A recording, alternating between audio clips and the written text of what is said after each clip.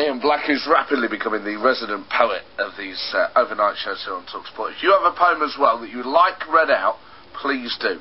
Uh, send it in uh, by text, if you like, to 81089. That'll be 50 people should normally send in charge. The best way to do it is to get it uh, through the website, talksport.co.uk, or you can send me a link to it, either there or through Twitter, at Matt Forde. Now, I'm just going to bring the screen up so that I can read off it properly, because I, I like to see things uh, properly. Now, this is dedicated, uh, says Ian, to um, uh, another fellow listener called Lulu Divine. It's like a wonderful name. Uh, who herself is, is, six months pregnant. So uh, congratulations to, to Lulu. Uh, all the best, of course, uh, for the uh, next three months and beyond.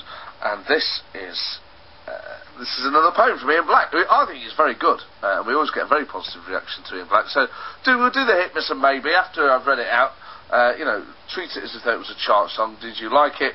Didn't you? Or not? You know, indifferent. So hit if you like it, miss if you don't, and uh, maybe if uh, you're not really that bothered. Um, although it does sort of beg the question: if you're not really that bothered, why would you text it? Uh, but nevertheless, uh, you see the point. Uh, and if you would like to submit a poem, now I've got to write a poem um, to read out. I think it's only fair. I was reading out other people's. I, sh- I, should write my own material. So if you've got a subject you would like me to write a poem on, 8 to 89, that'd be 50 people as your normal send in charge, and email me for free to the website talksport.co.uk. So here we go. This is Siren by Ian Black, dedicated to Lulu Divine.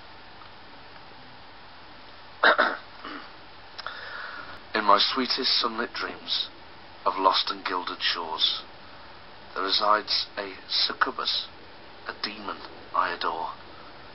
When I sail to heed her call, she rests upon the beach. She sings to me from land and sea, ever out of reach. Her glistening skin, eyes of fire, her lips of scarlet red, her silken hair, black as Styx, the river of the dead. As I fall to the allure with this angelic vox, her serenade and snares, bids me run upon the rocks. Melodies pervade my heart and rest awhile thereon. Fatal beauty manifest, the grace of siren song.